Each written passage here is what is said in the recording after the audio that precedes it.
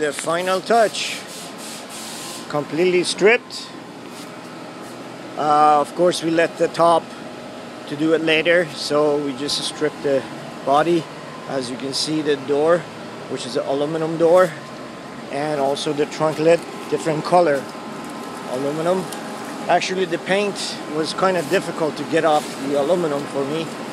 I had to spend a little bit more time, uh, but the car came out nice, as you can see. Um,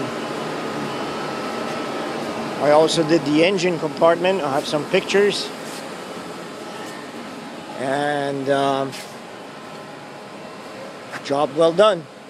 As you can see, maybe show you some of the interior of the engine compartment I have done.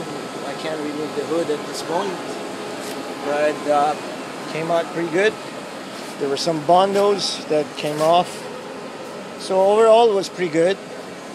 And uh, this is a final. I stripped the hood. It was a BMW hood. This is the Alfa Romeo hood. And as you can see, variety of miscellaneous parts. They came out pretty good. Ready to be primed and painted.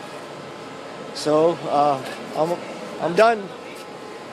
Um, hopefully next tomorrow I can do the top. They need to remove the top so I can do the top and they need to remove the uh, headliner off of the top.